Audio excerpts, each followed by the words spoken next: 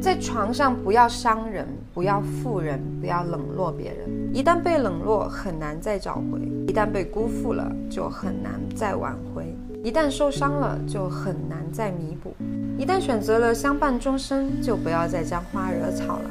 人心伤了很难转身，信任被毁了很难再见。床上功夫好不好没有关系，自己的能力强不强也无所谓。守住自己的床，在自己的床上繁花盛开，比什么都重要。点击头像关注我，成长的路上让我们一同前行吧。